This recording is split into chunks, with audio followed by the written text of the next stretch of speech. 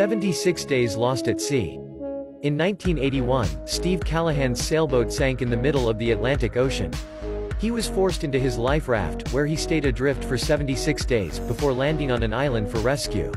Steve survived by harvesting rainwater and eating raw fish, while facing sharks, raft punctures, and equipment deterioration.